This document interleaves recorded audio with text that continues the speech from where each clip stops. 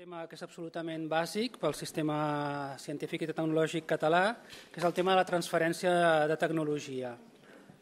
Moderarà la taula el senyor Enric Claverol, que és director general de la Fundació Catalana per la Recerca i la Innovació, és enginyer superior en telecomunicacions, doctor en enginyeria electrònica i informàtica, ha desenvolupat la seva activitat al Caltech, a Los Alamos, eh, també va treballar a l'IBEC, a l'Institut de Bioenginyeria de Catalunya, ha col·laborat també amb la Comissió Europea i actualment, tal com he dit, és el director general de la Fundació Catalana per la Recerca i la Innovació. Moltes gràcies. Hola, bon dia a tothom. Bé, en primer lloc, el que toca, i ho faig eh, molt de gust, és agrair a l'IEC eh, l'oportunitat de, de parlar de transferència tecnològica. Eh, ara és un moment en què tots n'estem parlant del tema i, i especialment que des de l'Institut es pensi en aquest aspecte ho valorem molt positivament.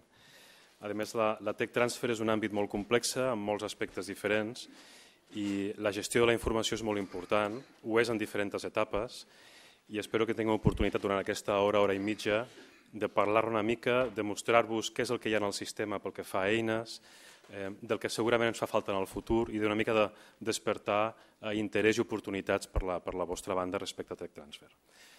El que farem serà, en primer lloc, fer una petita presentació molt curta eh, per situar-vos en context del per què la Fundació per la Recerca està involucrada en diferents aspectes de Tech Transfer. I llavors passaríem a presentar eh, més en detall, més en profunditat, les persones que m'acompanyen faran també una breu presentació cadascun, cadascun d'ells i obriríem un petit debat en el que espero que participeu, estem encantats que sigui molt dinàmic. En aquesta, en aquesta imatge el que us mostro de manera molt, molt simplificada és una mica el que és el procés de tech transfer i l'heu vist moltes vegades de ben segur. La faig servir únicament per explicar-vos una mica l'estratègia que hem seguit a l'hora de configurar aquest panell. Eh, ja sabeu que la, la Tech Transfer comença amb coneixements acadèmics que veieu aquí a l'esquerra i progressa cap al mercat que veieu a la dreta. Això ho heu vist moltes vegades.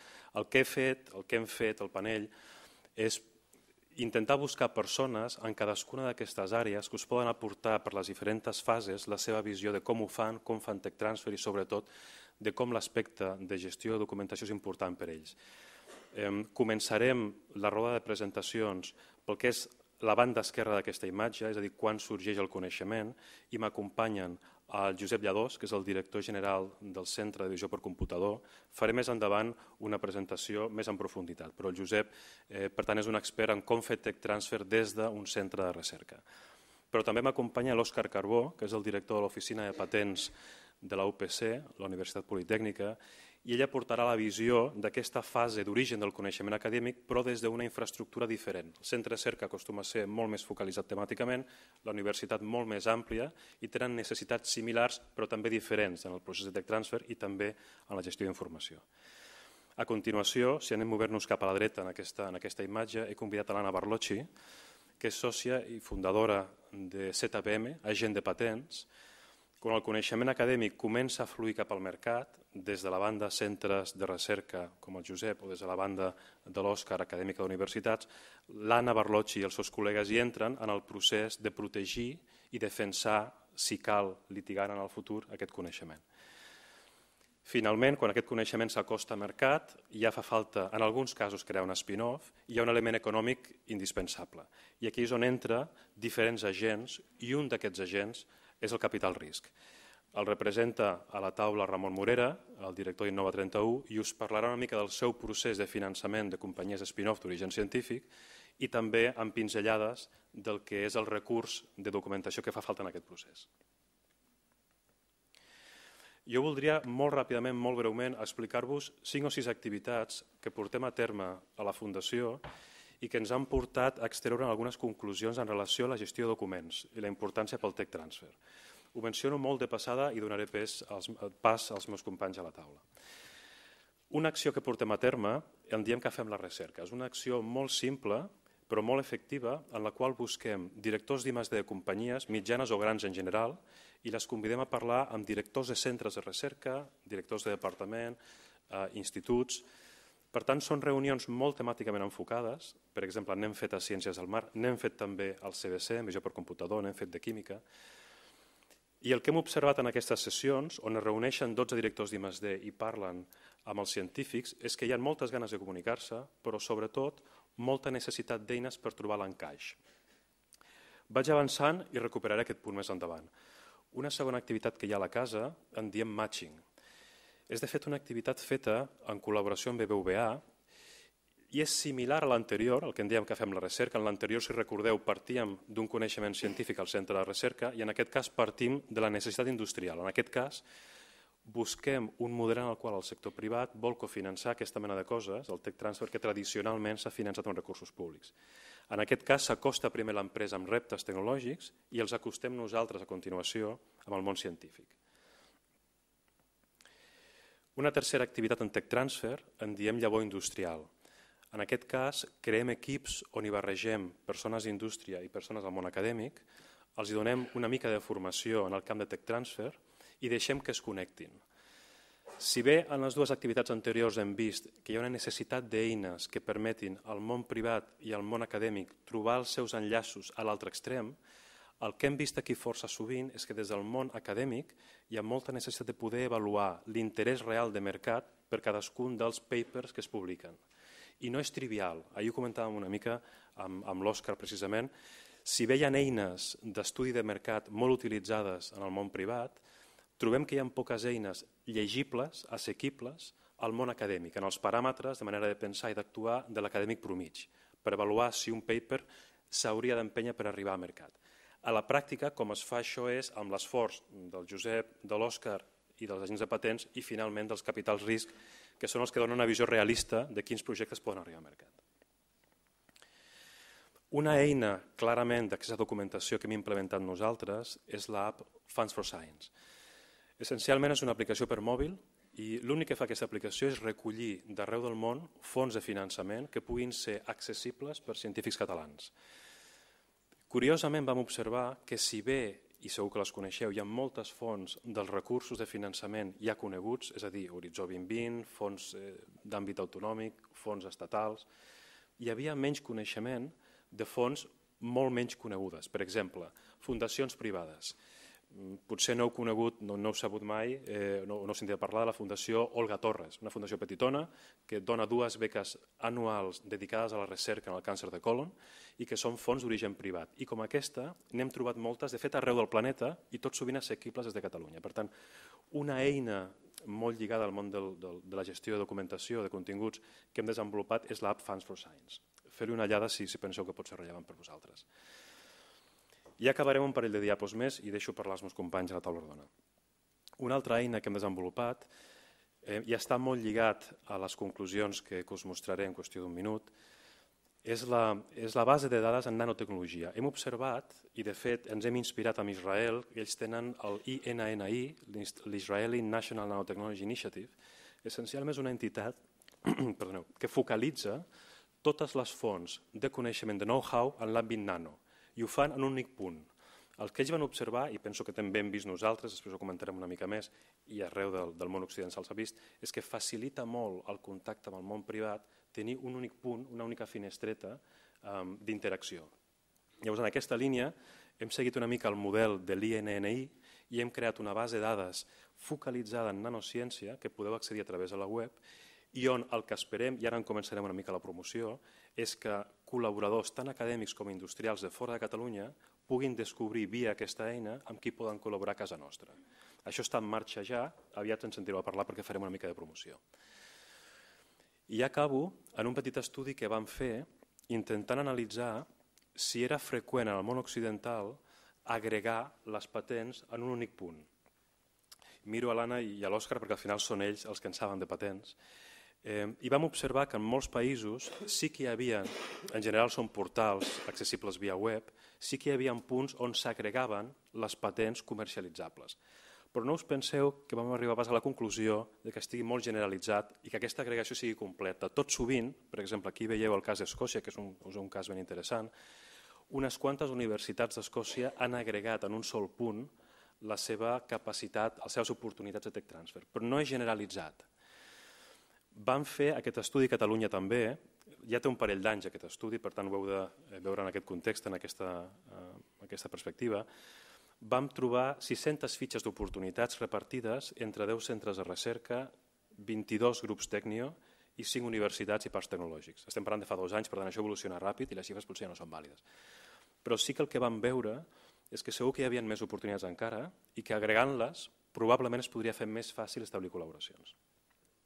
I aquí acabo, ho havia promès. Conclusions que, hem, que n'hem extret, que n'hem extret. Tres conclusions. Necessitat d'eines en tres àmbits. Algunes d'aquestes ja existeixen i us en parlaran els, els companys de la taula rodona. D'altres potser no existeixen, però en general el que trobem és que sí que existeixen però cal utilitzar-les millor i perfeccionar-les.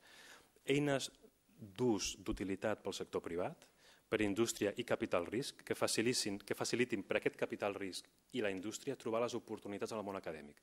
Qualsevol eina que faci més fàcil trobar les oportunitats penso que és interessant. Segon, eines pels acadèmics. Com us comentava abans, i ho hem deduït de llavor industrial. Trobem que molt sovint costa a l'acadèmic tenir una intuïció realista sobre la viabilitat d'arribar al mercat d'allò que s'ha fet al laboratori. Per tant, qualsevol eina que faciliti aquesta via, abans us deia comunicar a indústria, però també comunicar des d'indústria cap al món acadèmic el que és viable, qualsevol eina de cerca d'informació assequible per l'acadèmic pot ser molt interessant. I, lògicament, potser els principals usuaris d'eines de cerca de documentació en l'àmbit Tech Transfer són les oficines de Tech Transfer, les TTOs, i també els agents de patents.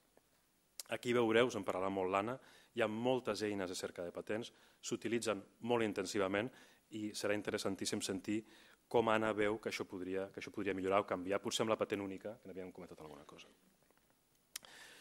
Bé, doncs aquí acabo. El que faré ara és donar pas als companys de taula rodona i, i progressarem, si recordeu aquell flux des del món acadèmic cap al món industrial, seguirem la mateixa cronologia del que és un procés de tech transfer convencional. Us parlaran primer el Josep Lladós i l'Òscar Carbó sobre com fan tech transfer des del món acadèmic. Primer en un centre de recerca i posteriorment des d'una universitat. Us presento el, el Josep Lladós molt ràpidament. El Josep Lladós és enginyer informàtic per la UPC, és doctorat en informàtica per la UAB i per la Universitat de París 8. A més, és professor catedràtic d'Escola Universitària de la UAB, és investigador adscrit al CBC, al Centre de Visió per Computador, i n'és director des del 2009. Té un, acadèmic, té un currículum acadèmic llarguíssim, no us, no us faré escoltar-lo tot, us garanteixo que és molt llarg, i he seleccionat alguns apunts només. Eh, és associat, investigador associat al laboratori IDAX d'Osaka, ostenta la càtedra del Parc de Recerca de l'UAB, de Tech Transfer, i, i del Banc Santander, també, de Tech Transfer. Eh, us, com us deia, té un currículum llarguíssim, té una experiència molt dilatada, tant en recerca, que precisament està vinculada al processat automàtic de documents, a més de la seva faceta com a director en el CBC. Gràcies per acompanyar-nos i endavant.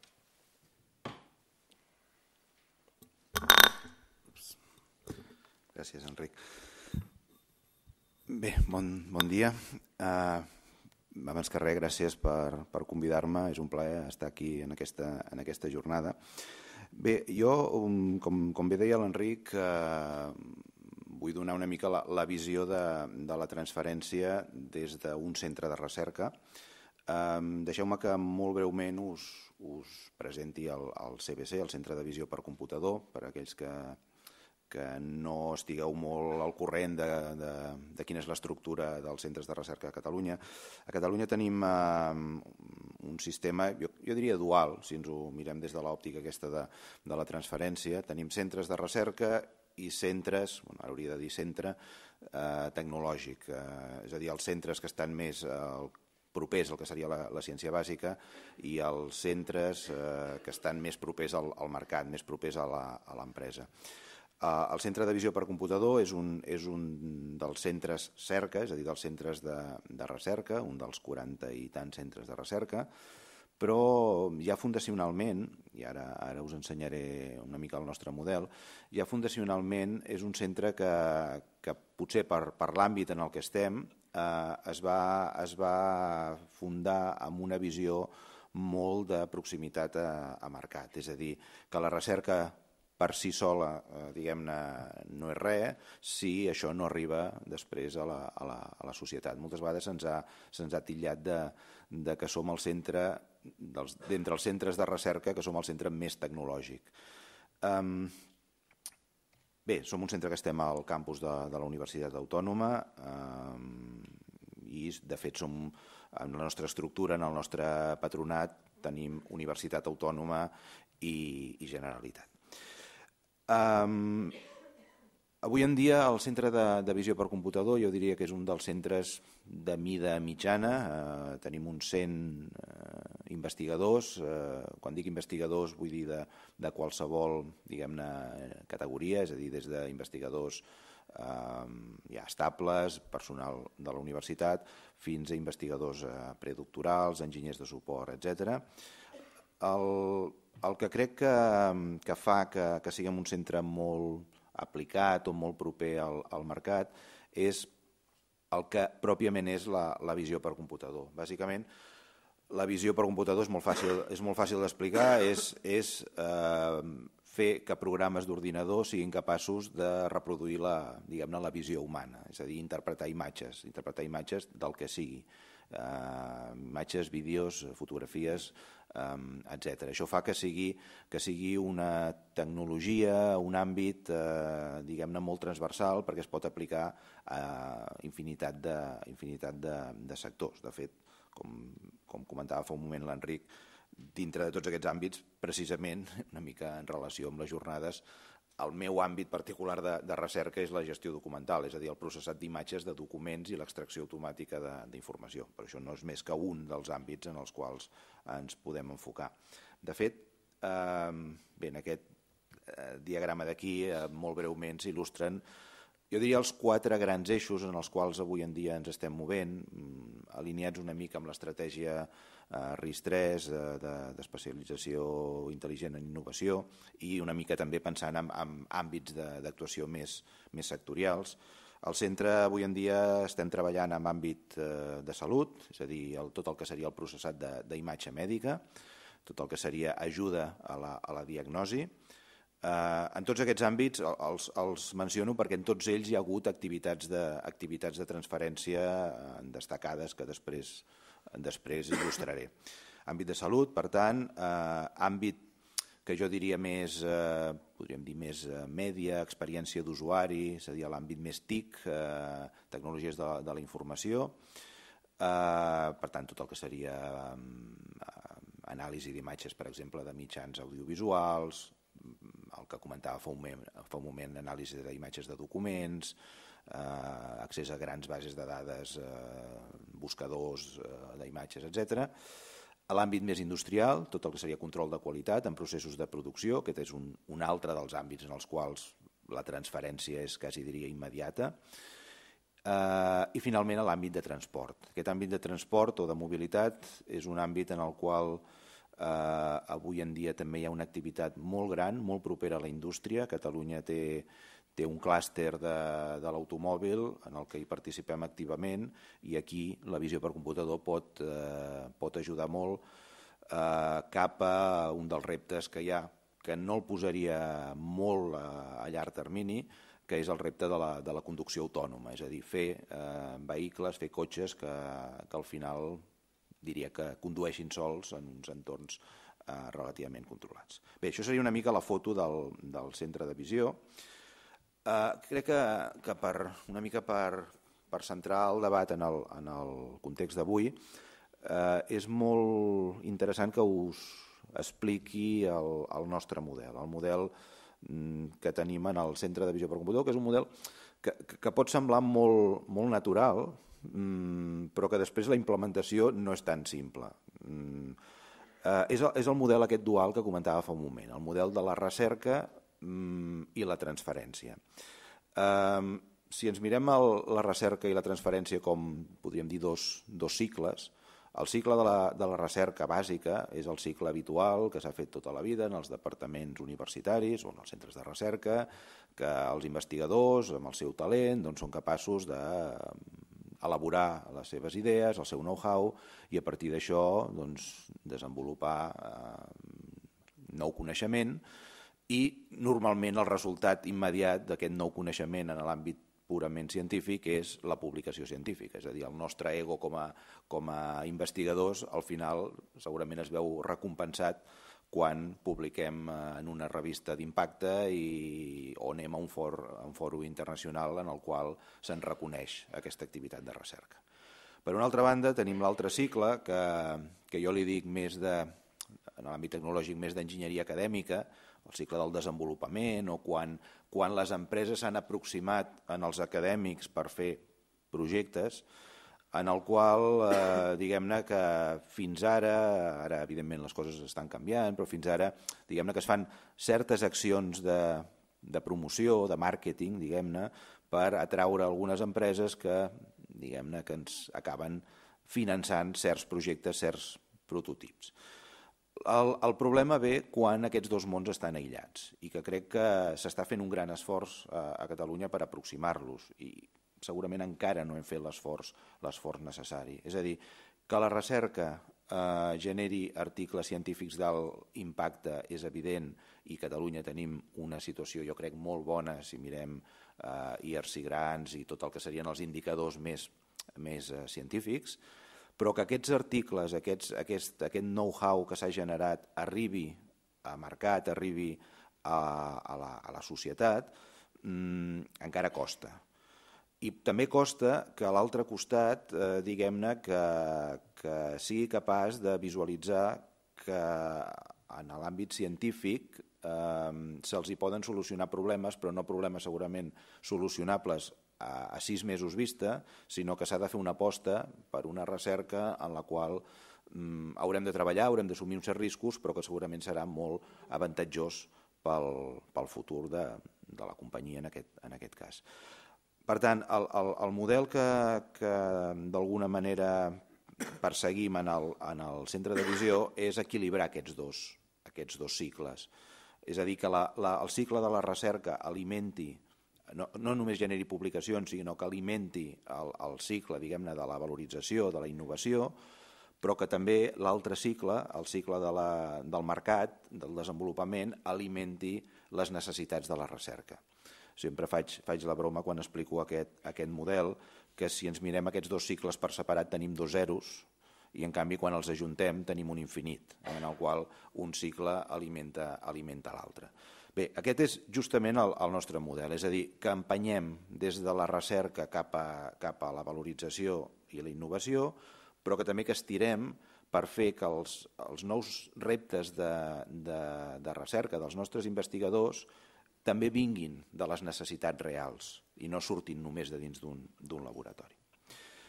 Bé, eh, una mica seguint aquest model, eh, només per, per il·lustrar la, la nostra activitat, en el centre hem fet en els 20 anys que ja tenim d'existència, de, doncs, projectes que segueixen aquest model, és a dir, des de la recerca bàsica fins al que seria la patent i la, i la implantació en un sistema real amb diverses empreses. Aquí podria mencionar, per exemple, projectes que hem fet amb Volkswagen, en els quals s'ha finançat des de la tesi doctoral fins finalment hi ha avui en dia cotxes que ja porten sistemes de visió eh, elaborats pels nostres investigadors, o en l'àmbit mèdic, per exemple, empreses com eh, Boston Scientific i Ben Imagine, que ha seguit una mica el mateix esquema, des de la recerca bàsica fins, a la, fins a la, al resultat eh, final.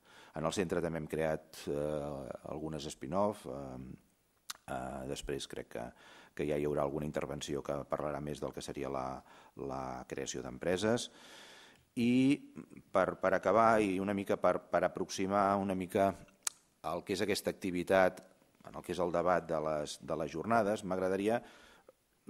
És, és molt semblant al que ha mostrat l'Enric en, el, en la seva primera diapositiva. Uh, és a dir, aquest cicle, de, per un costat, des de, la, des de la recerca fins a la comercialització i, per una altra banda, des del mercat fins a la proposta de necessitats i de reptes, crec que va generant, al llarg de tot aquest procés, va generant tota una sèrie de, entre moltes cometes, documents, eh, és a dir, materials eh, que, que s'han d'ordenar. I, I ho dic des de, quasi diria, des de, la, des de la pròpia experiència que tenim en el, en el centre. És a dir, avui en dia cal, crec, ja, ja hi ha eines, però, però segurament s'ha d'avançar en això, eines de matching, eines que siguin capaces d'ajudar-nos, als acadèmics, als investigadors, a, a identificar oportunitats de mercat a partir dels nostres resultats científics i al revés, i eines que des de la necessitat del mercat eh, facilitin a les empreses, en aquest cas, a identificar el know-how eh, que pot eh, solucionar-los el, el, problema, el problema en qüestió. Per tant, estaríem parlant des del que seria catàlegs o gestors de coneixement, és a dir, com gestionem el coneixement, el coneixement que generem. Evidentment, el coneixement està escrit en, en articles científics, però segurament no és suficient tenir un recull d'articles científics i, i allò quan, quan s'ha de presentar algú més aplicat a una empresa donar-li un article científic. Cal tenir catàlegs de tecnologies, cal d'alguna manera descriure eh, amb un pas una mica més aplicat que allò que és, eh, aquell nou algoritme que, que, ha sigut, eh, que ha tingut un gran impacte en el món científic eh, és aplicable i pot resoldre determinats problemes perquè immediatament allò arribi en algun, en algun eh, receptor.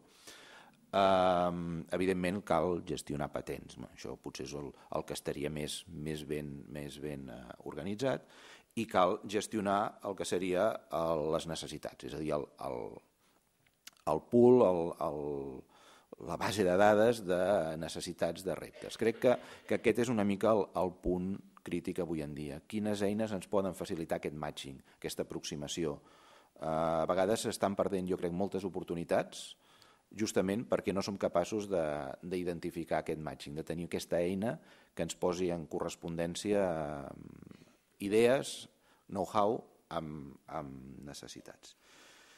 Mm, crec que amb això he, he dit les quatre coses que volia dir només per, per començar, no sé com, com he anat de temps, però ho, ho, deixaria, ho deixaria aquí. Moltíssimes gràcies. Eh, M'he quedat amb alguna pregunta per fer-te, però ho deixo pel debat i així no ens allarguem. Eh, Òscar, et presento. Eh, L'Òscar Carbó, que a més el conec des de fa més de 10 anys i hem estat a la mateixa banda de la taula i a bandes diferents, en, en ocasions diferents, eh, té molts anys d'experiència en Tech Transfer, és enginyer industrial en l'especialitat química, director de l'oficina de patents, com us deia, de la Universitat Politècnica de Catalunya, eh, responsable d'estratègia de comercialització de llicències en relació a spin-offs de la UPC, és a més coautor de l'eina de valoració econòmica d'actius intangibles basats en tecnologia, juntament amb, amb l'Autònoma. Avaluador de l'ANEP, també té un currículum molt llarg que us estalviaré, té moltíssima experiència. Eh, gràcies per acompanyar-nos, Òscar. Endavant. Molt bé. Moltes gràcies, Enric, també moltes gràcies i eh, bueno, estic molt agraït de poder, estar, de poder ser al costat d'aquesta gent, d'aquests professionals que amb alguns d'ells els conec també fa molts anys, com l'Anna, l'Enric, menys el Josep Lladós, però també el Ramon Morera. I bé, de fet és un plaer poder compartir amb ells aquesta taula. Us explicaré... Em passeu el mouse? Ah, Com vulguis. Sí, no? uh, us explicaré també breument el que, com, estem, com tractem el procés eh, de valorització, com tractem el procés de transferència dins de l'UPC, en primer lloc, explicar-vos que la unitat on estic jo és una unitat que es va crear el 2010, eh, ara ha canviat el nom, però bueno, estem fent exactament el mateix, simplement que internament hi ha hagut canvis i, i el nom bueno, s'ha decidit variar, però som fruit de, del que antigament era l'oficina de patents i llicències, que es manté, el que passa que incorporada en aquesta unitat, l'oficina d'Intellectual Property Rights, que diguéssim era una oficina més que portava els temes legals dels contractes de transferència, els acords de llicència, etc. I el programa Innova, que potser alguns de vosaltres us sona, els que sou de l'UPC segur, que és la, la unitat encarregada de la creació d'empreses. Doncs totes tres unitats ens vam d'alguna manera fusionar per formar part de la unitat de valorització i poder veure de forma conjunta els projectes, els projectes i poder valorar-los i valoritzar-los, que ara veurem què és el que entenem per valorització dins de la, de la nostra universitat i una mica com és entès en general. Com veieu aquí, la valorització, i no us llegiré tot el que posa, simplement us diré que s'entén com afegir valor als resultats de la recerca. Per, I el que busquem és augmentar el valor de la tecnologia per mirar de que sigui més fàcil transferir-la després al mercat, transferir-la a l'empresa. Al final és la nostra tasca. Com ho fem, això? Ho fem basant-nos en aquest el cono, la forma, aquesta forma de cono que tenim en aquesta cadena de valor té un sentit i és perquè a l'inici tenim un volum de projectes molt elevat, projectes de recerca, projectes que ens entren tant perquè els investigadors ens coneixen i ens venen a veure o perquè nosaltres per diferents activitats, accions que fem per intentar donar a conèixer la, les, bueno, el que fa la unitat, el fet de que l'investigador pensi que si té un resultat de recerca que pot ser transferible doncs ens vingui a veure, fem sessions amb departaments, amb grups de recerca, per, simplement per això, perquè l'investigador estigui atent al que està fent i al final això ha de néixer de l'investigador, eh? això és una, un punt important. Normalment el, el, el que és difondre o no difondre, explicar la invenció que té ha de ser ell qui, qui te la porti. Nosaltres podem fer moltes accions, però si al final l'investigador no ho està identificant i per tant aquí ha d'haver un, una, és molt important fer, generar una cultura entorn, en l'entorn acadèmic eh, per tal de que els investigadors, els grups de recerca estiguin atents a aquestes oportunitats que ells poden anar generant per mirar després de transferir-les. Com veieu, primer hi ha aquesta fase d'explicar de, de, de, quina és la, la invenció que s'ha generat, que es pot generar, que és la part d'identificació. Hi ha el procés de protecció. Veieu a l'esquerra i a la dreta que hi ha una sèrie d'agents de diferents perfils professionals amb els que s'ha de col·laborar en tot el procés, tant la interacció amb les administracions i, evidentment, les empreses. Al final, tot això ho fem per intentar arribar a empreses, arribar a la societat, transferir aquest coneixement i poder reinvertir després tot això un altre cop a la universitat perquè segueixi havent més recerca, podent crear nous llocs de treball, tant a les empreses com a la pròpia universitat, afiançar llocs de treball que hi ha dins de les universitats, que això també és una problemàtica existent. Doncs una vegada veiem que aquesta invenció se'ns ha, se ha traslladat, mirem de protegir-la. Hi ha diverses maneres, l'ANA segurament s'extendrà més amb, tota la, amb la part de protecció, amb el que són les patents, però bueno, simplement és que nosaltres avaluem aquesta primera fase i després treballem amb oficines de patents, com ZBM i d'altres, per mirar de fer la millor protecció possible, la millor protecció més idònia potser ho diuen, no? però ara ja ho dic jo, una mala patent segurament és molt pitjor que no haver-ho patentat, o sigui que perquè està divulgat i d'aquella manera com una patent sempre és una, un document que queda públic, si allò no ho has protegit bé potser et pot portar més problemes en el futur. Per tant, és molt important treballar amb experts i gent que sàpiga redactar correctament les patents i després hauran, hem de ser capaços de, de defensar-les. Parlem de traducció. Què entenem nosaltres per traducció? I abans el Josep també ho ha, ho ha explicat, ho ha mencionat. Traducció és el document tant l'article científic o l'article que s'ha enviat al Congrés o la publicació, com el que és la patent, són documents molt tècnics o tècnico-jurídics. Les empreses, segurament hi haurà un moment en què necessitaran rebre aquella informació, però d'inici, si els anem amb aquesta informació, serà molt difícil que ens obrin la porta o que moltes vegades la persona que ho ha de rebre rep un volum tan gran d'informació que si no li fem un filtre previ perquè el llenguatge sigui més semblant al que ell està acostumat a rebre, ens serà molt més difícil poder accedir-hi i, i que ens entengui. Al final el que busquem és que identifiquin ràpidament si això m'aplica o no m'aplica. Per tant, hem de intentar parlar en el mateix llenguatge que, parles, que parlen les empreses, que això no és fàcil des de l'àmbit acadèmic, i això ho sabeu perquè em sembla que molts de vosaltres esteu en aquest àmbit, no? O crec que tots, o la majoria, m'imagino. Per tant, és aquest el concepte de la traducció. Una vegada s'ha pogut fer aquesta traducció, per tant, és aquest document que hem elaborat, hi ha una fase de fer tota la part de màrqueting, fer tota l'estratègia de promoció, d'arribar a empreses, de buscar canals per difondre aquesta, aquesta oferta. Nosaltres anomenem, anomenem l'oferta tecnològica. Hi ha diferents marketplaces, zones on podem incloure la nostra, la nostra tecnologia perquè sigui visible, perquè arribi a les empreses, etc. Per tant, s'ha de buscar fer tot el màrqueting possible. Per què no? També utilitzar els mitjans de comunicació. La UPC està treballant amb, amb diferents, des de l'oficina de premsa en diferents mitjans de comunicació perquè quan surten projectes interessants, projectes que poden ser d'impacte, doncs que també es donin a conèixer a la societat i això també ens permeti arribar a, a, que arribi a empreses i que aquestes ens puguin contactar. De fet, tenim un exemple que crec que val la pena mencionar-lo, que és una empresa que, que és una empresa que congela fruites, potser algú de vosaltres ho heu sentit, això ja ha arribat a TV3, ha sortit en alguns programes, però l'origen, com ens va contactar el primer grup inversor, el que, ens, el que va entrar i va posar els primers diners i va confiar i va tirar endavant aquest projecte i hem, portem set anys i ara comença a ser una realitat internacional, el, es van assabentar per un programa de ràdio. L'investigador se'l va convidar, ho va exposar en el programa de ràdio, quina era la seva recerca, evidentment estava patentada, important. Si no, no expliqueu el que teniu fins que no està patentat, si és que realment és patentable, però amb això s'ha de vigilar força de no publicar-ho prèviament. Estava patentat i a partir d'aquell moment vam començar una col·laboració gràcies a que ens havien escoltat per la ràdio. Per tant, sempre és interessant, hi ha diferents fórmules per arribar al mercat però, o, o perquè se'ns escolti, però bé, comptar amb totes elles. En tots aquests processos, com aneu veient, és molt important la gestió de documentació perquè tant, evidentment, a l'inici, el filtratge de, de, del que estem rebent, si és patentable, si no és patentable, és necessari referenciar amb altres documents, amb què és el que s'ha divulgat prèviament, què és el que ja ha patentat prèviament, això l'Anna Barlogi s'estendrà més, però després hi ha diferents etapes on també necessitem anar posant filtres, i els filtres aconseguim posar-los doncs, comparant amb el que hi ha. I per tant, alhora, quan necessitem comparar necessitem documents, necessitem referències, necessitem bases de dades en cada moment de tipus diferents. Doncs potser a la fase de protecció són bases de dades de patents, més endavant quan anem al tema a buscar al mercat, bases de dades d'estudis de, mar de mercat. Eh, bé, hi ha molts tipus de, de, de bases de dades diferents en les que s'ha de treballar en tot aquest procés, com, com podeu veure.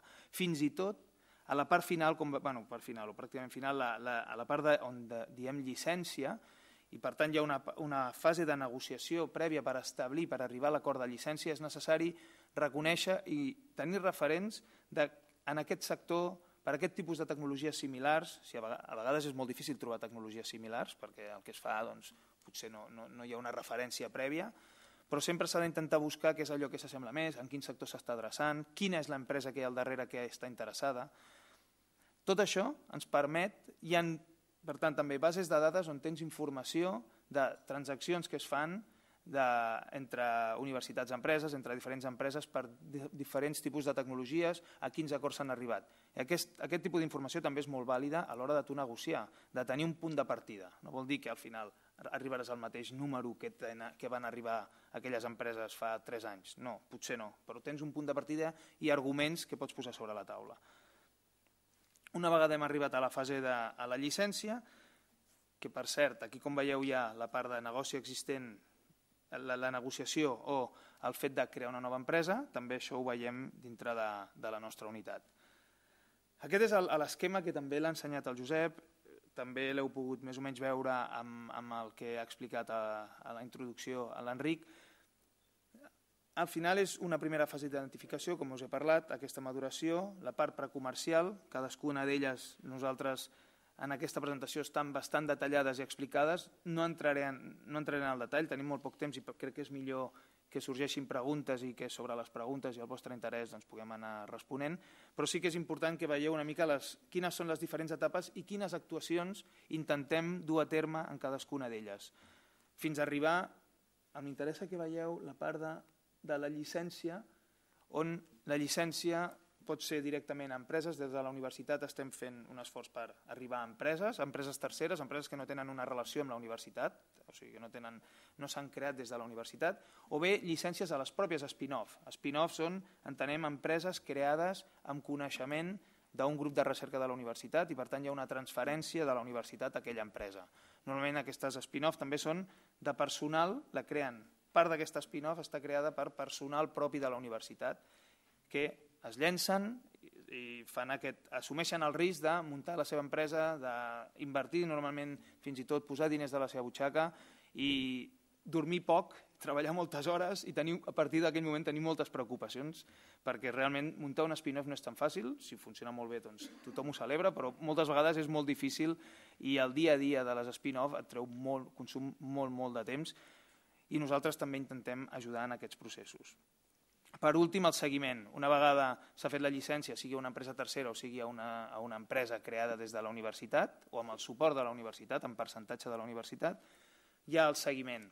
Aquelles empreses i aquell contracte no, queda, no ha de quedar en el no-res, sinó que any rere any s'ha d'anar revisant, s'ha d'anar demanant documentació a l'empresa, s'ha de veure exactament què quina ha estat la facturació, quina és l'evolució de la tecnologia, etc etc, per poder doncs, bé, primer poder demanar el que li correspon a la universitat, que el cobrament de royalties, els pagaments siguin tots correctes, però també per anar veient l'evolució, per veure si cal moltes vegades reformular el que es va negociar en, el seu, en un moment determinat i d'aquesta manera poder, poder doncs, anar treballant conjuntament i poder ser un partner de valor. Com us he dit, cadascuna d'aquestes etapes estan més definides en la presentació. Jo no sé si ells tenen accés a la presentació. Sí, sí. sí. Per tant, jo crec que podreu, podreu mirar-ho amb més deteniment. Simplement, la part que jo us volia explicar, crec que més o menys el temps és, és aquest, eh, i després ja passarem a preguntes. Moltes gràcies. Moltes gràcies, Òscar. Eh, com veieu, l'Òscar parlava del procediment de patents que dintre d'aquells dos cercles de treball que mencionava el Josep és el cercle a la dreta i torna a sortir el tema de com fer més publicitat de les oportunitats en aquest segon cercle. El primer és l'acadèmic, els papers estan ben documentats, una altra cosa és el segon cercle. Ara eh, ens parlarà l'Anna Barlocci, ella és enginyera industrial i agent de patents europees, especialitzada en l'assessorament a la redacció i tramitació de patents nacionals, europees, americanes, PST, vaja, tot.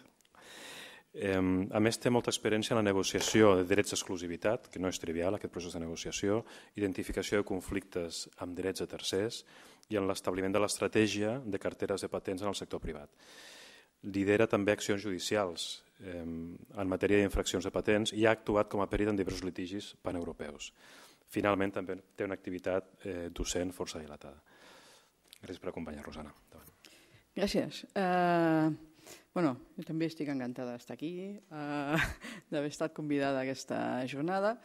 Um, en realitat, um, del que jo sé sobretot és de patents i només de patents. És a dir, és una, és una feina molt especialitzada, si vols, i uh, et, uh, diguem-ne, t'obliga a mantenir-te al dia i tal. I per tant, eh, diguem-ne, el, meu, el meu cercle de coneixement realment és, és molt limitat. Um, aleshores, eh, l'Òscar ha esmentat que jo parlaria de moltes coses, eh, de les quals crec que no parlaré de moment, a menys que us interessi en particular algun aspecte, aleshores podeu fer les preguntes que vulgueu. Eh, jo em centraré una mica perquè eh, l'Enric m'havia dit que eh, diguem-ne aquestes xerrades estan adreçades, estan relacionades sobretot amb temes de documentació, Um, I la documentació de patents, de propietat industrial i en particular de patents, és molt poc coneguda en general. Um, les bases de dades, crec, d'articles eh, científics i de més eh, documentació científica articles, papers, eh, pòsters i tal, crec que um, dintre de la comunitat científica, els grups d'investigació i tal, són força coneguts. Però les patents són com una mica una cosa que, uf, les patents, no, no, no, uh, no són ni molt atractives ni molt conegudes. Aleshores, eh, bueno, aprofitant que tinc aquí 200 persones eh, que m'han d'escoltar una estona, doncs parlaré de bases de dades de patents. Perquè eh, precisament perquè és poc conegut i perquè hi ha molta informació i molta, um, molta informació científica i tècnica a les bases de dades de patents. Hi ha una dada que una, és una llegenda urbana que corre fa molts anys, que jo la vaig veient a moltes presentacions eh, aquí a Espanya, internacionalment i tal. El 80% de la documentació, o sigui, de les coses que estan descrites a, a patents, només estan descrites a patents. No hi ha cap altre lloc on, on puguis trobar aquella informació. Jo ho dubto, però, però és una, com una llegenda urbana que és com un mantra que, Uh, però és veritat que una patent, i això no està a la meva presentació, i per, però, és, però és important, um, una patent com a contracte que és entre una eh, entre l'administració i un, un inventor, una empresa que innova, que, que ha trobat, eh, o sigui, que destina recursos a innovar, diguem-ne. Doncs, eh, com a contracte que és entre l'administració i aquest innovador, doncs, eh, una de les clàusules d'aquest contracte és si tu vols una dret d'exclusiva per la teva invenció, l'has de divulgar, l'has d'explicar. I per tant, en principi, una patent hauria de contenir eh, tota la informació necessària perquè un expert en la matèria d'aquell camp pugui realitzar aquella invenció, pugui dur-la a la pràctica, pugui fabricar un dispositiu eh, o eh, fer una instal·lació per, per, per, per fer un determinat mètode que està protegit per la patent. Saps? Això és molt, diguem-ne. És molta informació, això.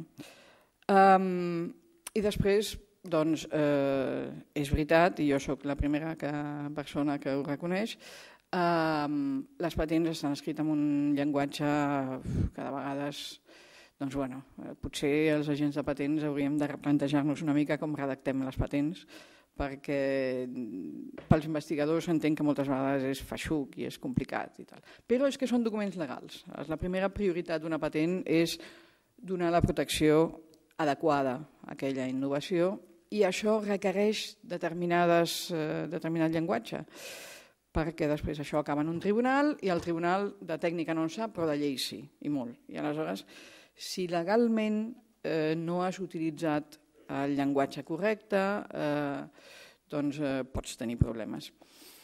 Um, bueno, quasi que deixi de parlar així a, i posi una diapositiva. Um, jo parlaré sobretot um, de cerques de patents, de com localitzar patents, les patents que et poden interessar. Les, hi ha moltes... No, ah, això, ja està, ja està. Ja tinc... Hi ha, moltes, eh, hi ha molts objectius per fer una cerca de patents. Pots voler invalidar la patent d'un competidor teu, eh, pots voler senzillament trobar informació tecnològica sobre un, sobre un sector tècnic o científic, eh, pots voler saber si pots si el teu producte que estàs desenvolupant el podràs comercialitzar lliurement o no, o està bloquejat per la patent d'algú altre, que són els freedom to operate aquests. O vols saber en quina situació legal està una patent determinada, etc. Hi ha moltes raons per les quals un podria voler fer una cerca incloent documentació de patents. Um, hi ha diferents tipus de bases de dades i fonamentalment hi ha les gratuïtes i les, de, les professionals de pagament, diguem-ne. I una cosa, és a dir, els, en, fa, fa anys que les bases de dades gratuïtes són molt bones i són eh, i cada vegada més, més user-friendly, cada vegada és més fàcil buscar i cada vegada és més fàcil extreure dades.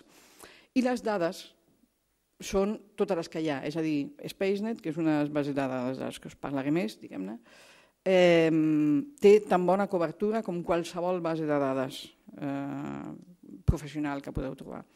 La diferència està en els interfeixos de cerca, que són molt més eh, potents en el cas de les bases de dades eh, privades o, o professionals o de, de pagament, i de vegades eh, les bases de dades eh, professionals tenen eines estadístiques, per exemple, d'anàlisi, que, que, en el vostre, que en el cas de, de, que us interessi sobretot documentació en un sector tècnic determinat, quins són els actors, eh, quines són les empreses que patenten en aquell camp i tal, les eines estadístiques poden ser molt interessants.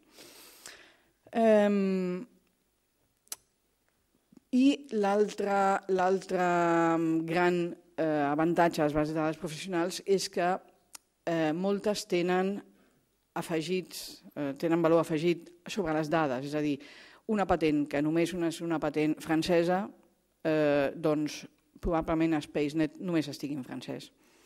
Um, I això vol dir que si tu fas una cerca en paraules clau en anglès no la trobaràs. Mm? Uh, I fins i tot si la trobes per la classificació no tindràs un resum en anglès, a lo millor. Hi ha moltes que sí, però moltes que no. En canvi, en una base de dades professional, en principi, doncs, eh, s'afegeix aquest tipus de, de, de, de valor a les dades. No? Um, públiques i gratuïtes, o sigui, de pago n'hi ha moltes. Eh, i em sembla, encara teniu accés a Derwent, a, a Derwent VPI? Però em sembla que està tallat al 2013. Ah, ja. Yeah perquè era una base de dades professional molt bona i la UPC a les biblioteques tenia, teníeu accés. Era, era, um, però bueno, no parlaré. Dos minuts? Tinc dos minuts? Eh? Cinc minuts. Bueno, d'acord. Uh, bases de dades públiques, aquí en teniu algunes. Google Patents és una d'elles i és, uh, té un interfeix de cerca molt, molt interessant Um, això és un, és un pantallazo diguem-ne d'una de les patents del que podeu trobar eh, com a informació d'una patent determinada. Um, I Google té l'avantatge que és Google, per tant, va millorant amb el temps. Però um, jo uh, us faré un exemple molt ràpidament de eh, com fer una cerca a la base de dades que més s'utilitza de manera no professional, que és SpaceNet, l'Oficina Europea de Patents. Però només un parell de diapositives d'introducció. Què és el que, què és el que eh, com es fan una cerca de patents? Bé, doncs com qualsevol altra, és a dir, hi ha camps de cerca i pots buscar per dades, número, data de sol·licitud, data de publicació, etc. Per, pel nom del titular de la patent, vol saber quines patents té Siemens o que sigui, no? per nom d'inventor, per paraules clau, amb, amb tots els defectes que poden tenir les cerques per paraula clau i tots els documentalistes coneixeu millor que jo, o per classificació. I com que la classificació de patents és diferent d'altres classificacions de, de, de coneixement, etc., doncs us parlaré, us parlaré molt, molt, molt poc de classificació de patents. Hi ha una classificació internacional, és jeràrquica, té aquests, diguem-ne, grans, eh, aquestes grans seccions, eh, i dintre de cada una, per exemple, aquesta, eh, necessitats corrents de la vida, doncs hi ha subdivisions, és una classificació jeràrquica. És a dir, allò que va, allò que és, allò que és un exprimidor de cítrics va dintre de la A47J1902 i no dintre de la A47J1900. Si és un exprimidor de cítrics, en principi una patent relacionada amb això hauria d'anar aquí dintre. Eh, hi ha una classificació cooperativa ara nova, a partir del 2013, que inclou també, o sigui, totes les patents en principi tenen una classificació internacional, totes les patents que s'han publicat en el món tenen assignada una classificació internacional i ara la majoria tenen també aquesta classificació cooperativa que en principi o sigui, que té avantatge respecte a la internacional. I està SpaceNet també. I no us explicaré detalls perquè no em donen prou temps. Com, o sigui, jo us recomano sempre que, feu, que quan busqueu patents utilitzeu la classificació. Encara que no hi esteu familiaritzats, no és tan complicat, i menys si un és documentalista de professió, anem a dir-ho així. Um, com les trobes? Com trobes quina classificació necessito per buscar aquesta tecnologia que, que necessito trobar-ne les patents? No? Jeràrquicament agafes eh, això que és mecànica, tal, doncs, eh, F, i dintre la F doncs, eh, què busco? Il·luminació, doncs tal. No? I vaig buscant i vaig baixant. No és fàcil, però eh, és una manera. O bé busques patents que tinguin unes determinades paraules clau i mires quina classificació tenen. Aquesta és potser la, la, la, la manera d'entrada de buscar, al principi almenys. Um, SpaceNet, de fet, té una possibilitat de buscar una classificació. I a nivell d'estratègia, doncs no sé si, si, si, si cal, diguem-ne, però evidentment no és el mateix... O sigui, tu no pots fer una cerca i dir, ah, la meva estratègia, agafar un tros de paper i dir, la meva cerca serà amb aquestes tres paraules clau, aquesta classificació, creuaré això amb això, i ja està, i punt i fa, poso la meva cerca a la base de dades i els resultats són els bons. Segur que no, necessitareu més d'una iteració segur. Bueno, I aquesta és una possibilitat, diguem-ne. I només esmentaré una cosa dintre d'aquesta eh, diguem-ne eh, estratègia, que són les cites, les citacions. Patents citants i citades. Us ho ensenyaré sobre les fitxes de SpaceNet. Um, això és una gran font d'informació a partir de que trobes un o dos o tres o deu documents que tenen alguna relació amb el que busques. Mm, SpaceNet, aquesta és la, diguem-ne, la, la pantalla de cerca, part de la pantalla de cerca de SpaceNet. És una base de dades que conté patents a tot el món. En principi és la base de dades amb més cobertura que hi ha de patents. Um, té ajudes, té settings que pots establir, doncs com tots. Eh, has d'assegurar-te que estàs buscant les patents de tot el món perquè cada interface, segons per on entres, això és accessible via l'Oficina Europea de Patents, l'Oficina Espanyola de Patents, ho teniu posat més amunt. Um, i en, en determinades, segons des de quin país cerques, pots buscar només les, bases, la, les patents d'aquell país, etc. Si vols fer una cerca internacional, t'has d'assegurar que tens l'opció correcta aquí. Vale. Eh, aquesta és l'altra part de l'interface de cerca. un exemple molt fàcil, un filtre per fer te vale? i per escórrer les, les fulles, una vegada que treus, treus la bosseta o treus la, la, la, el catxarret amb, amb les fulles i va gotejant per tot arreu. No? Doncs això és per tal d'escórrer abans de treure quan el treus de la tassa. És, no, són dues peces i té dues posicions, en una poses les fulles, a l'altra eh, les pots escórrer.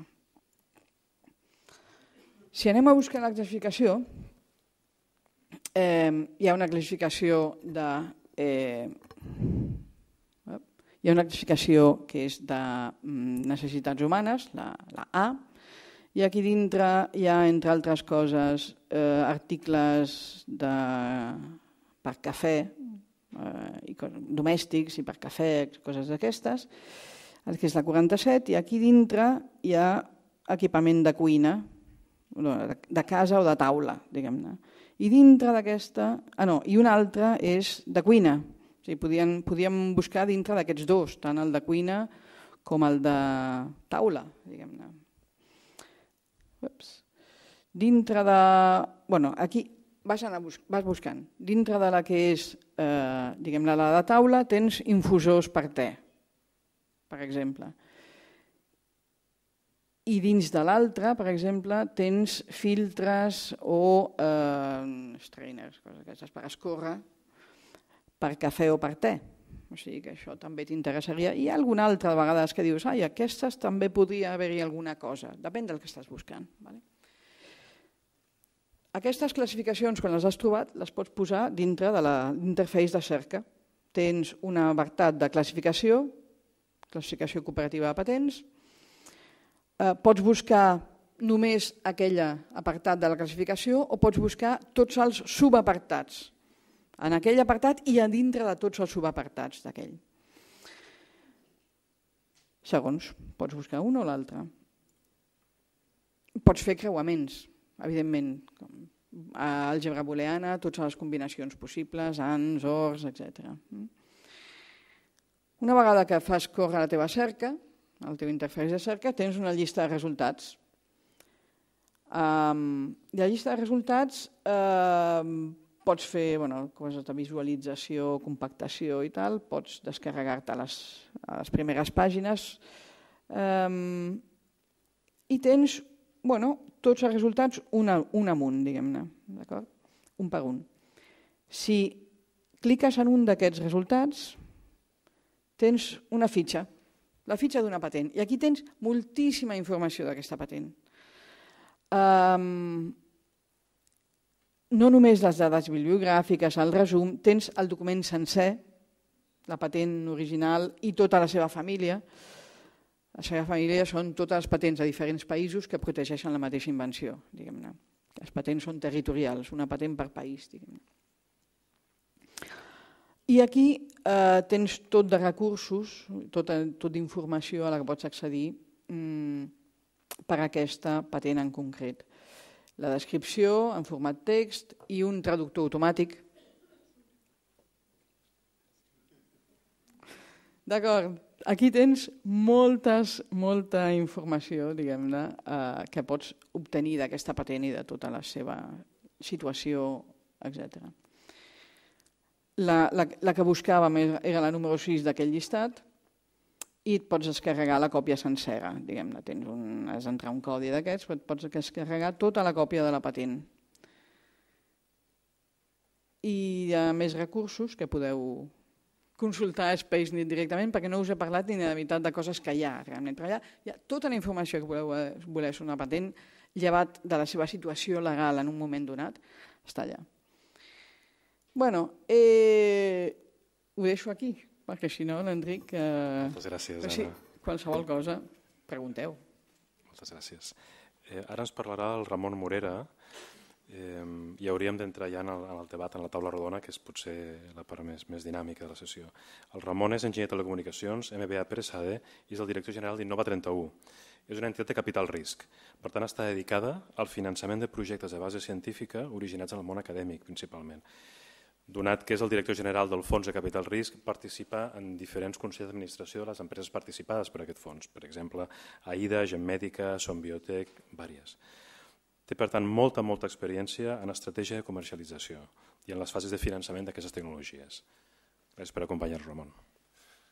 Bon dia i moltes gràcies. Gràcies a, a l'IEC i, i compartir la taula amb tots vosaltres i, evidentment, a vostès per, per l'atenció que estan prestant a la jornada.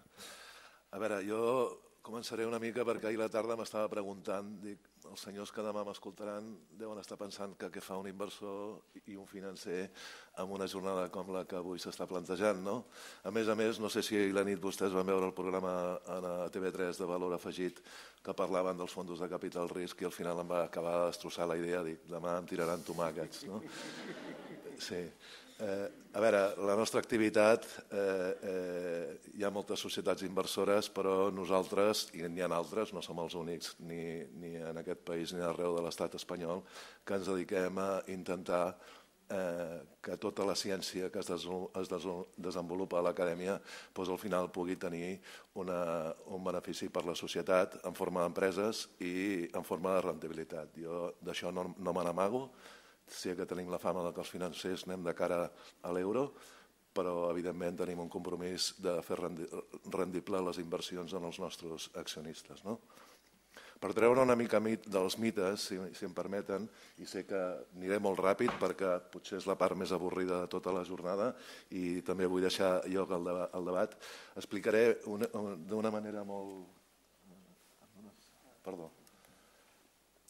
D'una manera molt ràpida de quina manera funciona, funcionem les societats de capital risc, eh, perquè almenys eh, vostès vegin quin és el sentit de la nostra feina i de quina manera eh, eh, funciona. I bàsicament, si com vostès tots són eh, tècnics, no, no m'espatllaré com funciona aquesta gràfica, doncs, bueno, des de que un senyor, un emprenedor, crea i té una idea per muntar una empresa, la llança al mercat, despega i en teoria la línia, el cash flow, perdonin la, la, la, la terminologia, però el cash flow és els diners que tenim eh, en el calaix. Eh? I, és evident, I és evidentment, sí, és que és, és, no, no, no, no té cap altre secret. Eh, en teoria, doncs, al final els diners que tens en el calaix, si l'empresa va bé, doncs, en tens suficient.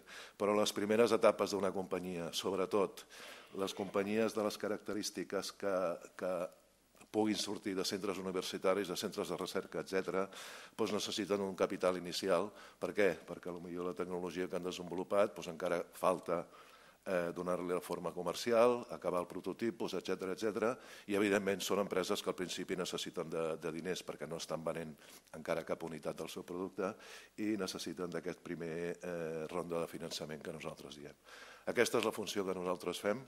Eh, vull trencar el primer mite, si nosaltres només anéssim de cara a la rentabilitat no invertiríem en aquest tipus de, de projectes perquè l'estadística del 2014 deia, això no m'ho invento, està publicat, que el 89%, suposo que ho van fer com les rebaixes al Cort Inglés per no dir 90, dels diners s'han perdut en aquest tipus de projectes. No? O sigui, les startups, la tassa de, de fracàs és molt alta, és la que és. Què vull dir amb això? Que evidentment el compromís amb la rentabilitat el tenim, però eh, si només fos això, també a nosaltres ens interessa tirar projectes endavant, que la ciència i la tecnologia al final penetri i permeabilitzi cap a la societat i, evidentment, tota la resta que vostès vulguin afegir de crear llocs de treball, etc etc. O sigui que cert esperit romàntic, almenys els que ens dediquem a això, el tenim. Bàsicament, eh, que, quin és el, el, el mòdul de funcionament? És molt senzill, Eh, nosaltres coneixem uns emprenedors que tenen una idea, ens plantegen un pla de negoci, tecnologia, estem parlant. Després eh, els diré que, bueno, en primer lloc, ja agrair la feina que fan vostès perquè ens és molt útil, però com tot s'ha de millorar, eh, els diria quina és la feina que ens agradaria que a partir d'ara també ens ajudessin a desenvolupar. No? Tanquem un acord amb un emprenedor, li diem, escolta, jo et poso tants diners, em dones un percentatge de la teva empresa, el nostre esperit és sempre ser minoritaris, mai agafem més del 51%, no, no ens preocupa qui, qui té el, eh, diguéssim, el domini de la societat, perquè si no això malament funcionaria. Invertim en aquesta empresa, intentem ajudar, creem, volem que aquesta empresa eh, eh, augmenti de valor i nosaltres al cap d'un temps marxem. Som inversors, el que se'n diu temporals. No hi som per tota la vida i l'emprenedor pot triar en quedar-se ell sol i que la continuï desenvolupant o buscar-se un altre soci que sigui més estratègic i no tan financer com nosaltres. No? A partir d'aquí aquest circuit es torna a repetir. Nosaltres sempre diem que entrem per sortir És una boda amb un divorci ja acordat i com ens repartirem les misses. Eh, és que és així de, de fred.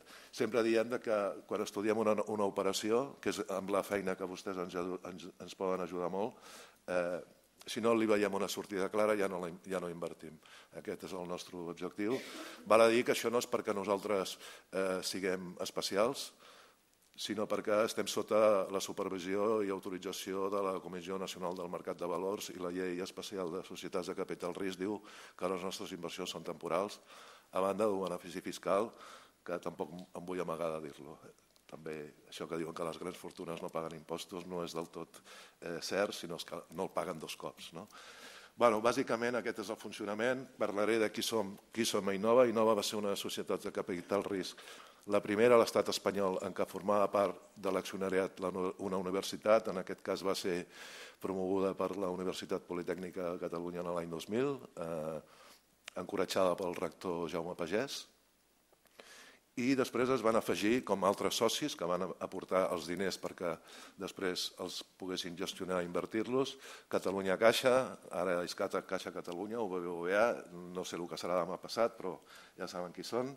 Després teníem Unió Interiores. Unió Interiores és un family office, una família eh, amb molt de patrimoni catalana, que eren els antics amos de, de, de les eh, fàbriques de Gerana Punt, de Banderado, Ocean, de Princesa, de totes aquest, eh, aquestes marques. Aquesta companyia se la van vendre i van fer, van fer una, un patrimoni i ara han diversificat i una de les seves eh, eh, inversions va ser amb nosaltres, amb Innova 31. Després està EDM Holding. EDM Holding és un trader, és, un, és una gestora de patrimonis privats, independent, no depèn de cap banc. També tenim el Parc Científic de Barcelona, vostès tots el coneixen, i el Leitat, que és un centre tecnològic que hi, ha, que hi és a, a Terrassa. Com veuen, jo sempre dic el mateix, jo estic molt, molt content amb els accionistes, que a més tots són el Consell d'Administració, perquè a l'hora de nosaltres estudiar una operació, eh, com invertim en tecnologies que siguin eh, tenir aquest pool d'experts en quant a la Politècnica, a part científica i l'eitat, que d'alguna manera ens po em poden validar i em donen consells agafant-los tots amb tot l'espectre tecnològic, la veritat és que és un luxe, cosa que altres societats de capital risc, quan necessiten validar una tecnologia, doncs li tenen que pagar amb un expert un informe que de vegades no és, no és gaire barat. No? Què és el que fem? Ja els dic, invertir en empreses que estan en fase molt, molt inicials, no sit capital, o sigui, no invertim eh, o no ens agrada eh, arriscar, entrar a risc tecnològic, no invertim en que encara el producte s'estigui desenvolupant, sí que entrem, sí que invertim, però almenys quan ja li veiem una visibilitat de comercialització entre 3 i 4 o 5 mesos. Allò de començar a, a, a invertir en projectes que el risc tecnològic encara no està definit no ens acaba de convèncer. A més a més, també hi ha altres instruments eh, financers que també són vàlids per això. Invertim, ja dic, en aquests tipus de companyies. Qualsevol tecnologia, Espanya, Europa o Catalunya, Espanya, Europa. Més, més, jo sempre dic inversions a més de dues hores de vol de Barcelona no, no m'interessen perquè nosaltres tenim vocació d'ajudar molt a les companyies perquè si ets un soci t'has de comportar com tal i no has de ser passiu i llavors pues, si haig d'anar a pagar un incendi que m'agafi a dues hores de vol com a màxim. No? I bàsicament aquesta és la nostra activitat i amb un horitzó i amb un, amb un, amb un objectiu de desinversió, de que aquests diners que nosaltres, nosaltres hem entrat en un moment pues que puguem vendre-li amb una altra companyia o amb qualsevol altra, multiplicant i tenint una rentabilitat perquè així els meus, els meus jefes pues, estan contents. I, i bàsicament és això el que, el que fem. No? Eh, per què estic aquí i, i els agraeixo que vostès m'escoltin? Perquè potser això és un acudit i és, és una, mica, una mica dràstic, no? però en aquest senyor que li devia passar?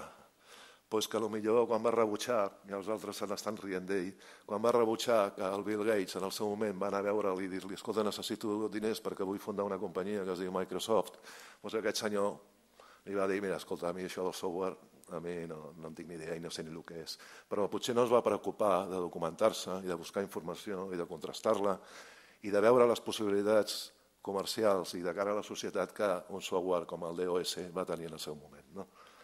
Ho dic perquè aquesta és la feina que per nosaltres és la més dura, perquè buscar informació i destinem molt temps, treball de camp i destinem molt temps, a contrastar la informació quan un emprenedor o un empresari ja em ve a veure i em diu vull invertir a la teva companyia, però sobretot també jo em passo doncs, el 60 o el 70% del meu temps buscant noves oportunitats d'invertir. I de vegades l'única manera és picar portes en els departaments de les universitats i els centres de recerca. No tinc cap altra via de poder saber les tecnologies que s'estan desenvolupant, primer, si hi ha ànim de treure-les al mercat i dos, si tenen sentit que estiguin el mercat. No?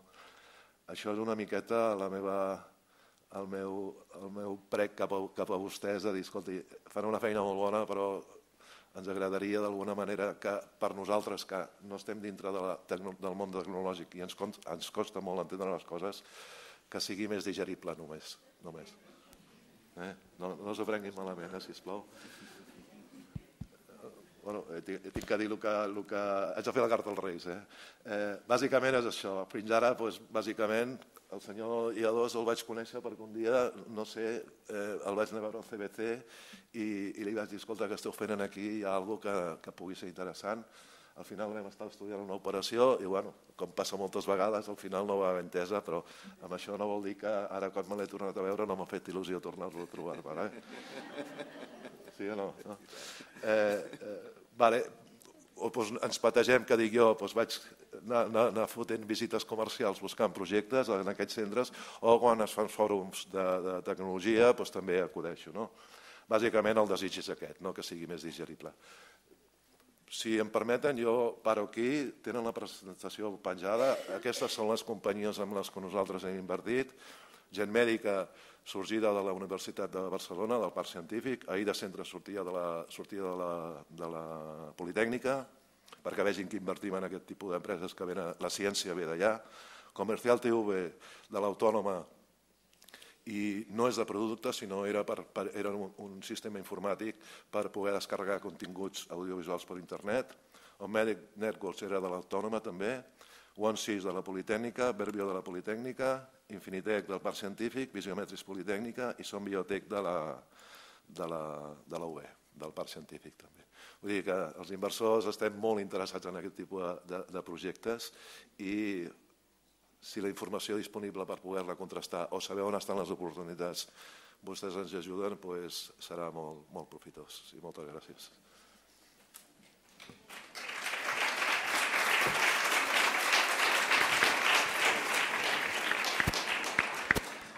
Moltíssimes gràcies, Ramon. Jo, si us sembla, en lloc de fer nosaltres el debat en preguntes pròpies, potser val la pena donar l'oportunitat als assistents. Ens queden 10 minuts escassos. No sé si hi ha alguna pregunta i podem encetar una mica, eh, contestar tots plegats. Hi ha alguna pregunta potser relacionada amb aquest últim tema que hem parlat, el capital risc, l'accés a la informació... Eh, jo, sentint-nos a parlar abans, eh, què en penseu? Penseu que les eines que ens explicava l'Anna i que no l'he deixat acabar, perdona Anna, poden ser realment útils pel Ramon per buscar oportunitats que generen els equips de Josep i de l'Òscar o realment aquest, aquest front-end diguem, de patents és tan dur que es fa diguem, molt aspre eh, per capital risc per fer-lo servir? Què en penseu?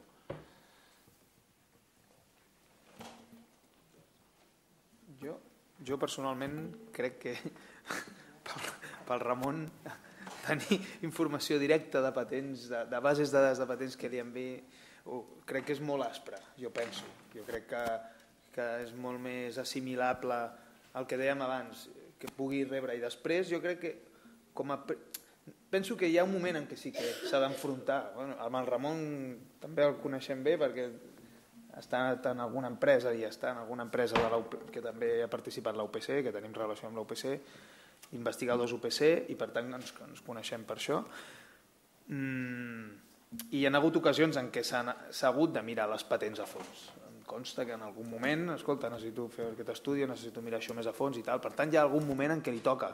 Però d'inici, per ell, jo entenc, eh, que ho digui ell, però des del meu punt de vista jo agrairia si la informació fos més assimilable, no fos directament un, un document tan tècnic, sinó que hi hagués, aquest, hi hagués aquest esforç que ha de fer algú, que aleshores per això hi ha aquest tipus d'unitats no? de, de transferència a les universitats o agents externs que, que ajudin això, a, a posar-ho en un llenguatge molt més entenedor pel mercat, perquè perfils com el Ramon, com les empreses, com la indústria, puguin identificar aquella tecnologia i quina aplicació tenen, a quin sector s'està dirigint, etc etc. Jo crec que això al món acadèmic ens falta en moltes ocasions. No ho sé. Bàsicament el que trobem a faltar és això, no? de que eh, ens costa molt entendre eh, veritablement si tota la ciència que hi ha en aquests fondos documentals quina aplicació pugui tenir eh, comercialment, no? si són explotables o no. No estem dient que volem que ens diguin si al final se'ns posarà el dòlar aquí en els ulls i serem molt rics o molt pobres, no. El que volem saber és veritablement si hi ha aplicació. Després nosaltres estudiarem els models de negoci, si són els, els més eh, raonables o no. Però sobretot hi ha molta documentació, segur que hi ha molta cosa molt interessant, però l'aplicació de vegades a nosaltres ens frena, ens passa allò del senyor de, de l'acudit, de dir, ostres, és que jo no sé si veritablement això serà absorbible per la societat o no. I això és el que trobem a faltar. Jo no sé si és possible el que estic demanant, eh? disculpeu-me, però bàsicament ens costa molt prendre decisions i al final, perquè jo tinc la sort de que tinc en el, en el Consell els accionistes eh, experts en això i em donen un cop de mà, però ja, ja no és una eina automatitzada, és ja més ad hoc que els hi demano la seva opinió. No? Eh, això és el que bàsicament trobem a faltar. A l'hora de contrastar, bàsicament. Sí, hi ha una pregunta allà, sí. Allà al darrere, al darrere.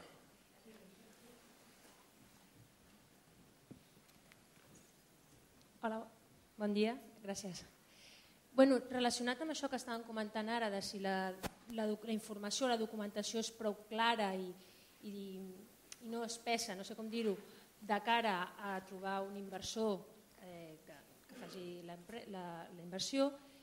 Jo fa uns anys vaig sentir en una conversa de passillo, per tant dongui-li el valor en el context que els estic donant, que també aquest era un problema que es trobaven molts investigadors a les universitats, que iniciaven projectes de recerca i després quan s'acostaven a la seva oficina de la universitat per eh, patentar-ho, eh, descobrien que això ja estava patentat, és a dir, s'havia fet una inversió d'esforç, de temps, de personal en fer un projecte que després resultava que per manca d'informació o perquè la informació no se sap on està o no està prou clara, eh, bé, era com tirar bueno, anys o mesos de feina a, les escombraries, no sé si dir-ho així. Jo no sé si això és correcte, si, si aquesta conversa de passadís és així, si passa amb un percentatge alt o és molt poc significatiu i de quina manera els investigadors també necessiten, abans d'endegar un projecte, si necessiten també una formació i una informació de si amb allò que volen treballar doncs ja, ja té una línia oberta. Gràcies.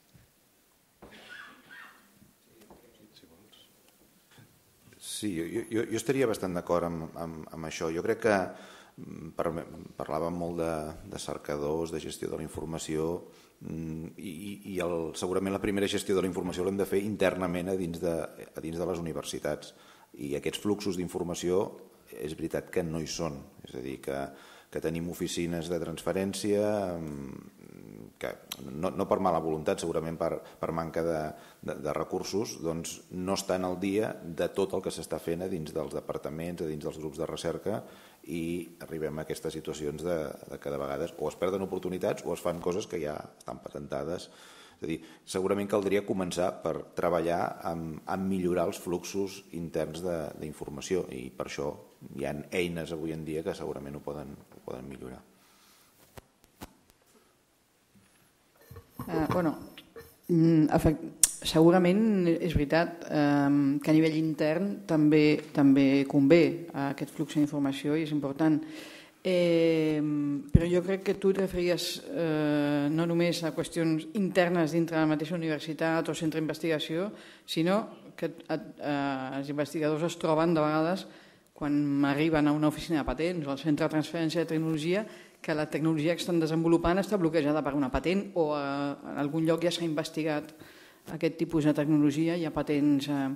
És veritat, de fet, estic segura, perquè recordo haver anat alguna xerrada de l'UPC, per exemple, del, organitzada pel Centre de Transferència i Tecnologia, eh, que els centres, de, els centres de transferència ho diuen això, eh, recomanen als seus investigadors que abans de llançar-se en un projecte doncs, eh, eh, verifiquin, mirin, preguntin si hi ha eh, patents en aquell sector o sobre aquelles tecnologies. I de fet és eh, cerques de patents eh, se'n poden fer i se n'haurien de fer, idealment, a, molts, a moltes fases diferents del desenvolupament, perquè al principi pots voler saber si hi ha una patent molt genèrica que bloqueja tot un sector eh, i millor no hi és i, pots, i, i trobes coses molt interessants i línies molt interessants dintre d'aquest sector i quan comences a arribar a resultats potser hauries de... o quan tens, senzillament, quan tens eh, en, un, en un projecte dues possibilitats cap on direm quina solució intentem desenvolupar aquesta o aquesta, doncs aquest és un moment ideal per dir, anem a veure si hi ha patents. Si hi ha patents que bloquegen una, potser intentem l'altra, per exemple. No? Eh, és veritat, també és veritat que les cerques de patents no són fàcils i menys si les fa el mateix investigador que no és un expert en, en patents, tot i que, jo sempre dic el mateix, en una cerca de patents i necessites dos necessites dues coses. Necessites saber de patents i de bases de dades i necessites saber i conèixer la tecnologia que estàs buscant. Perquè cap agent de patents et pot fer una bona cerca si no ha entès què li estàs explicant i què és el que està buscant. Jo puc veure, en un, en un tu trobes resultats en una cerca de patents et trobes 300 patents allà. Ja pots anar buscant paraules clau, classificacions i tal. De vegades et trobes 300 patents, te les has de mirar les figures, els resums, eh, el text sencer o el que sigui. Si no entens els que estàs llegint, filtraràs, o sigui, des, des, descartaràs coses que eren rellevants. Mm? I al revés. O sigui, sí, eh, seria molt interessant, no és tan fàcil, i a més estic segura que els centres de transferència de tecnologia ho potencien, això. No? Afegeixo també hi ha una dada que estic, estic pensant i agafaria el mòbil per mirar-la perquè no la recordo al percentatge, però la, la, la Comissió Europea tenia, havia fet estudis en els que es deia que hi havia un percentatge molt elevat de recerca que es feia. Això era una dada d'Europa, però segurament es pot extrapolar a la resta del món, probablement. Eh, en, en Europa, molta recerca que es feia s'estava duplicant, és a dir, ja s'havia fet en altres bandes. El que no recordo el percentatge, però era un, un percentatge bastant sorprenent. No sé si algú té aquesta dada, no. Però jo recordo, és una dada que en el seu moment la, la, jo l'havia tingut entre les mans, eh, l'havia vist i l'havia utilitzat en algunes xerrades, i ara fa temps que no i no me'n recordo, però era bastant sorprenent. I després hi ha un altre aspecte, per tant sí, és, és veritat que, que hi ha vegades en què es fa una recerca, s'inicia un projecte de recerca i potser et pots trobar després amb certes limitacions. I afegiria, que també ho he dit en la meva introducció, que a la, a la UPC almenys molts cops o bastants cops el que ens trobem és investigadors que ens venen a veure quan ja han fet la publicació i aleshores allà sí que el propi investigador s'ha autolimitat la possibilitat de fer una patent o, o si més no de fer una patent que potser hauria estat millor perquè després hi ha altres, hi ha, pots buscar coses alternatives, coses que no s'han publicat i per tant també tenen marge de patent, etc. Però, però hi han hagut bastants cops a la UPC, i, suposo, i això sé que és a totes les altres universitats, on l'investigador publica i després vol fer la patent que el, quan li passa una vegada ja no li torna a passar mai més, però, però el primer cop, i per això també deia que és important les unitats com la nostra i en general doncs, sessions com la que estem fent ara, important fer, anar donant aquesta cultura de, a l'investigador de bueno, quan tinguis en ment que ja estàs en un projecte que pots obtenir resultats que són patentables, etc, doncs que vagis a veure gent experta, que a totes les universitats, a tots els centres sempre tenen algú que s'hi dedica més o menys, però sempre hi ha, hi ha algú que, que et pot donar aquesta informació per veure si això realment pot tirar a la via de la patent. Val? Simplement volia afegir això. Si hi ha alguna pregunta més?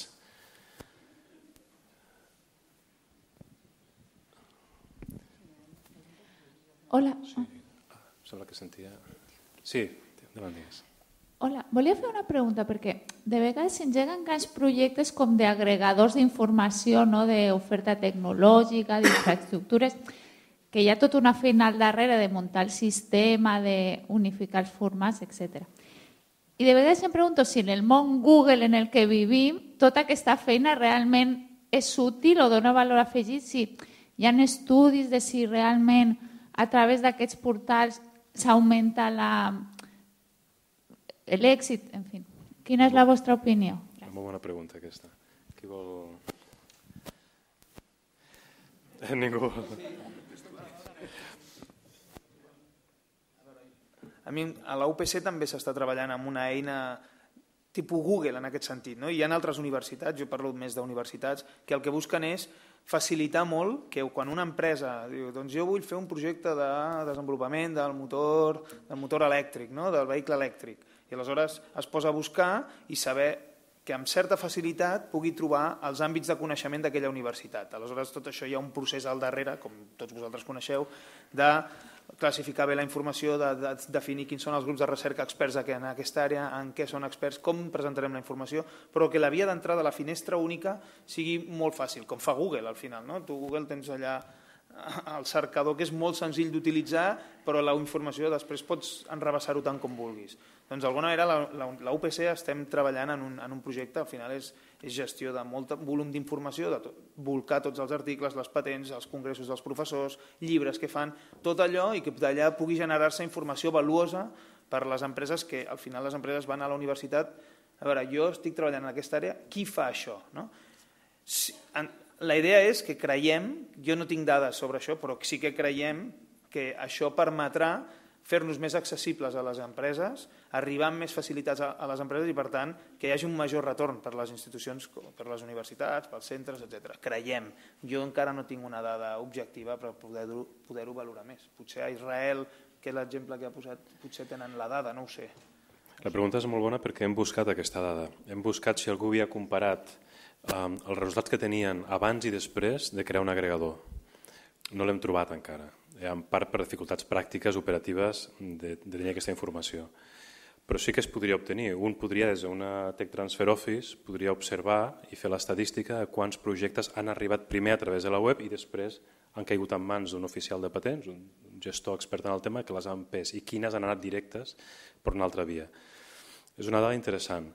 Clar, la intuïció, com diu l'Òscar, és que si facilites el, aquesta, aquest receptor la manera d'arribar a la informació en tindràs més d'aquests receptors. És una intuïció, encara no està quantificat, però és una, una pregunta molt rellevant. Sí, algun... sí, una pregunta.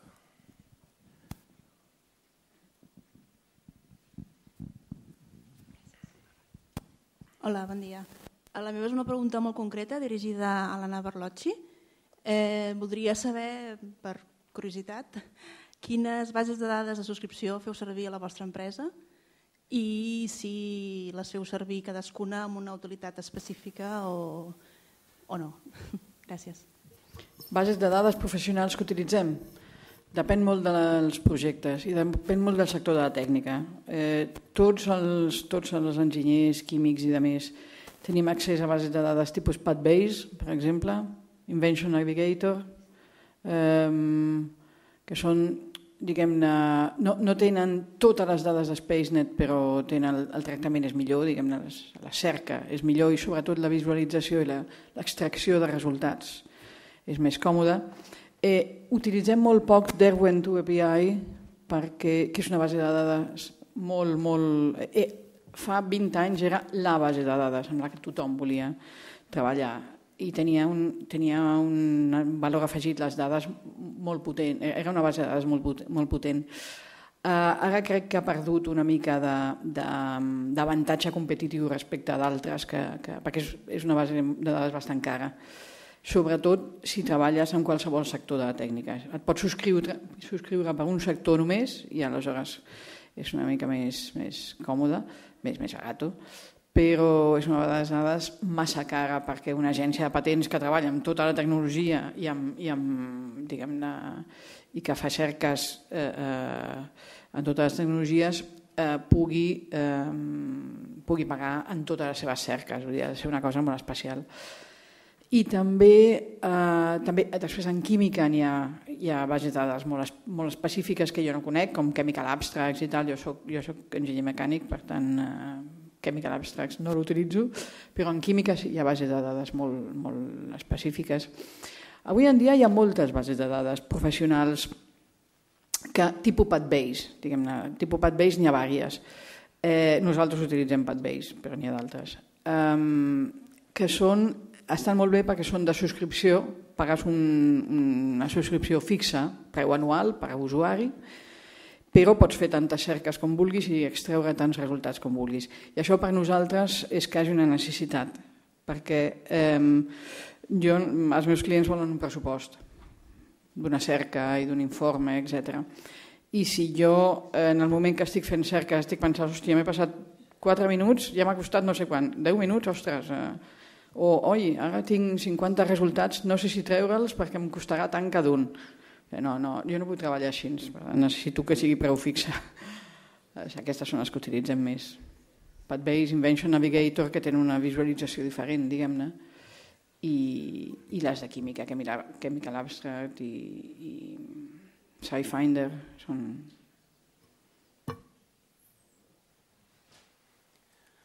Si alguna pregunta més? No, doncs si us sembla ho deixaríem aquí. Eh, ens hem passat 10 minuts, però moltes gràcies a tothom, molta informació i si voleu col·laborar amb qualsevol dels que m'acompanyen a la taula doncs teniu la, les seves dades de contacte. Moltíssimes gràcies.